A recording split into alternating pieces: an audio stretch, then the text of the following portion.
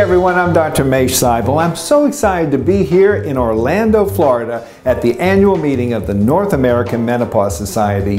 We've got experts gathered here from all over the world to bring you the latest information on menopause. I'm so excited to share this information with you.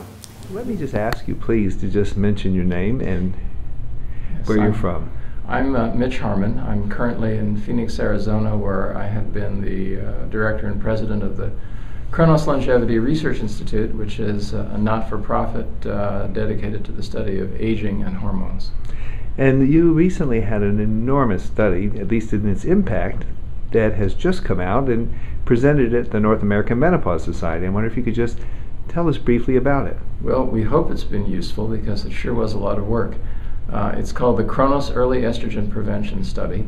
It was a study designed by a group of colleagues uh, with uh, a lot of expertise in women's health, uh, covering the waterfront from uh, GYN endocrinology to um, lipidology to uh, general endocrinology, but all of us with considerable experience in, in issues surrounding um, replacement therapy in, in the menopause. And our concern was that the WHI study uh, seemed to show that there was actually a worsening of the risk of cardiovascular disease in the women that they studied, but the, that the women that they studied, when we, when we looked critically at their study, um, didn't represent the usual age uh, and, uh, uh, and, and some other uh,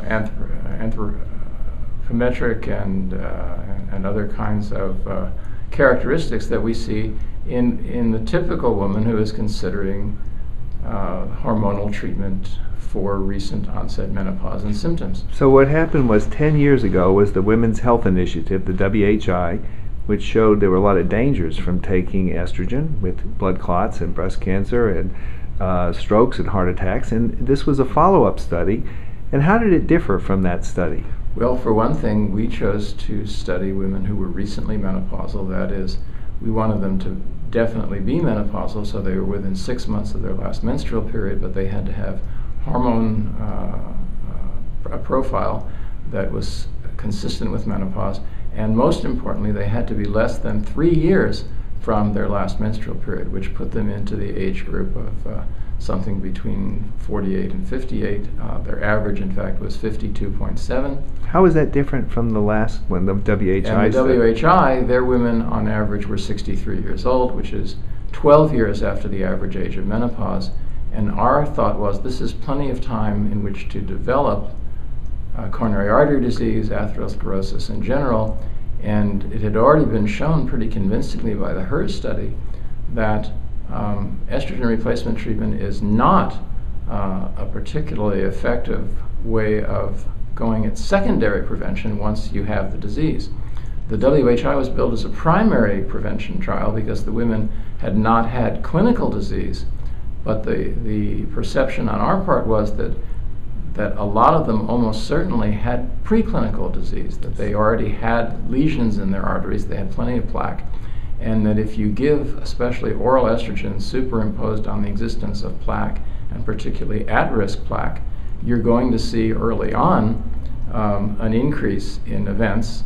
And, and that's exactly what they observed in the first 18 months of their study. They had an excess of events, and particularly in the oldest women. So what happened was, and you, the WHI, which is now 10 years ago, actually had women that were 65 to 79 years old, and in the time between menopause and the time they got in that study, they could have already had heart disease that made them have a stroke or contributed to a stroke.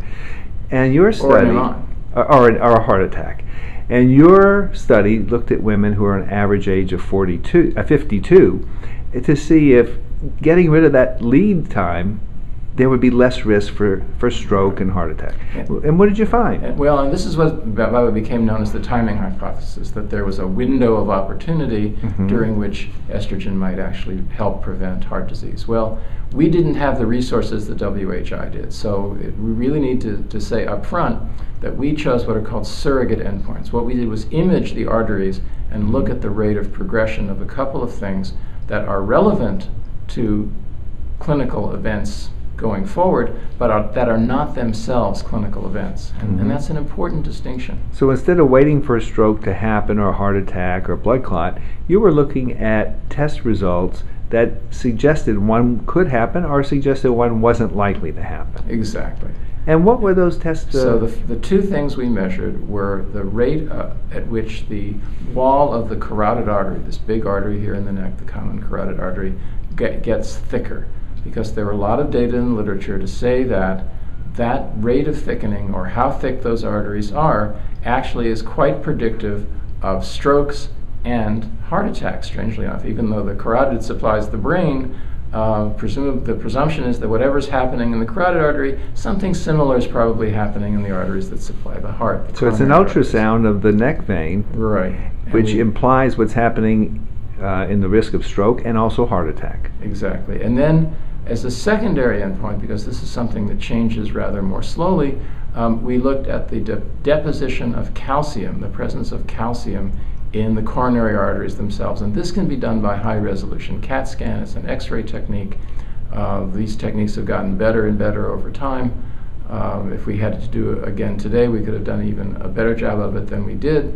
But um, that said, coronary artery calcium is another very good predictor of future events, events in the next five years. So we're actually looking at the anatomy of the arterial wall rather than just risk factors. So just like women can see on a mammogram that they have calcium spots in their breast, this test that you did actually was looking for calcium spots uh, in the arteries that go uh, carry the blood to in the heart itself. Exactly.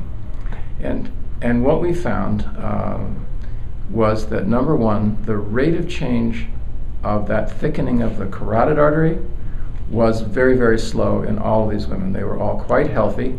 Um, we purposely screened out people who looked like they might have pre existing heart disease Mhm. by, by a number of criteria because our whole hypothesis was that our treatment would only work in people who didn't have heart disease yet. Mm-hmm. So we wound up with a very healthy group of relatively young women. And then when we looked at the rate of progression of, of uh, the thickening of the carotid artery by ultrasound, it was very, very slow in all three treatment groups. And I'll tell you in a second what the treatment groups were. Um, and no different between, from one treatment group to another. So if you didn't already have thickening in your artery in your neck, the uh, giving estrogen didn't seem to make it any worse than didn't seem to giving. make it any worse, uh, but it didn't make it any better either. right. Um, and, and as I say, those rates were very slow compared to what had been reported in other studies of women who were older and at higher risk. Mm-hmm. Um, the, the estrogen regimens that we compared, by the way, were the sort of old standard that everybody uses, uh, conjugated equine estrogen, which is mainly sold in this country as Premarin. Mm-hmm. Uh, we used a somewhat lower dose because there has been a trend to use lower doses, number one. Uh, and number two, we were concerned with safety, and we were looking at the WHI women who took a higher dose of 0.625 of Premarin, and we thought, well, you know, let's keep our women as safe as possible. There are enough indications that this lower dose still has beneficial effects on important risk Mhm. factors for heart disease, but maybe we'll have a little less risk of breast cancer, uh, thromboembolic disease, you know, strokes and, and, and pulmonary embolus and, and venous, uh, uh, Thrombosis. called deep vein venous thrombosis. So Mhm. we wanted to keep these women at a- as low risk as possible. And then our other estrogen regimen was something that's coming more and more into favor for, for a number of reasons, and that's the transdermal estradiol patch. And that's gotten very popular with the, with the people who are pushing what so-called bioidentical hormones because estradiol is the same estrogen that your own ovary makes if you're a woman. Mm-hmm. Um, but the other advantage of the transdermal is not so much which estrogen is in the patch, but the route of administration. It goes in through the skin, and then it immediately gets into this big pool of blood that circulates around the body. So it gets diluted out to the same kinds of levels that you see if your ovary is working. If um, if you take oral estrogen, it first goes straight to the liver because it's being absorbed from the intestine, and it Mhm. reaches the liver in very high concentrations compared to anything the body ever sees, except maybe during pregnancy. So you gave two kinds of estrogens, a patch and a typical dose, and an oral uh, medication, which was in this instance Premarin, but this is one that then had to go through the liver. So you ch- you looked at two different ways of giving it, Right. and measured these outcomes. Exactly. And there were some interesting differences in some of the ancillary or subsidiary outcomes because we measured a lot of things besides just the coronary artery calcium and the carotid intima-medial thickness. Mhm. But, but the important thing uh, is that with regard to our arterial imaging outcomes, there really wasn't any difference between those two treatments. As I said earlier, the CIMT, the, car- the carotid uh, intima media thickness, was no different between the two groups.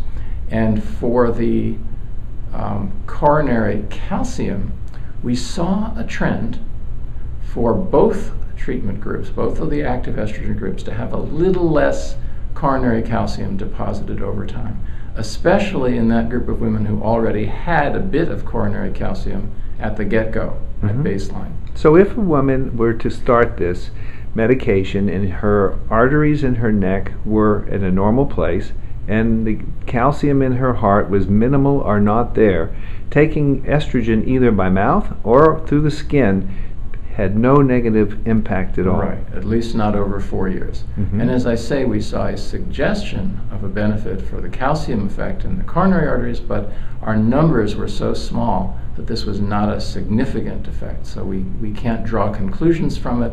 We can only say, gee, this was intriguing.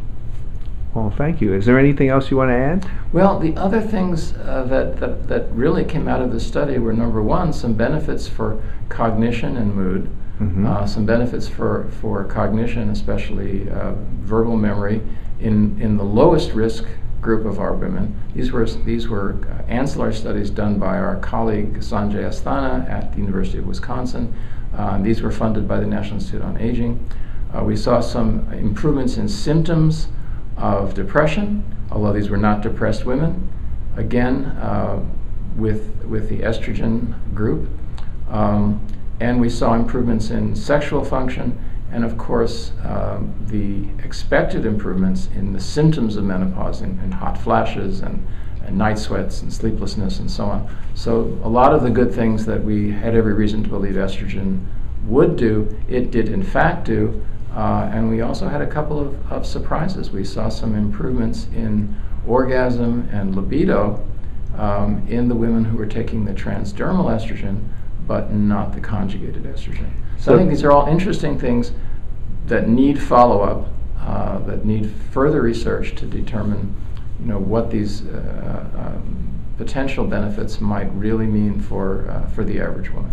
That's great. So, in, in, in summary, what you're saying then is that it appeared to be very safe in terms of the uh, veins in your neck, risking of stroke, in terms of the artery calcification in the heart. It seemed to not worsen it. It may have a tendency to make it better. That women noticed that they had a better, the, at least there was the beginning information that there was an improvement in sex and an improvement in depression. Even though they weren't depressed, they felt better. And um, mood overall seemed good. So these are very positive things from your study.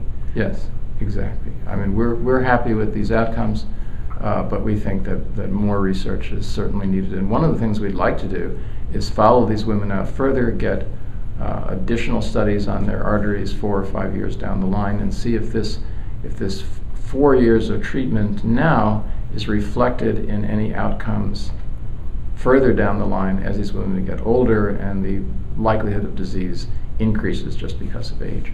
I really thank you for taking time. It's a fabulous study and a wonderful presentation. Well, thank you much. And I hope that uh, this will be helpful to the people that follow your blog. I think it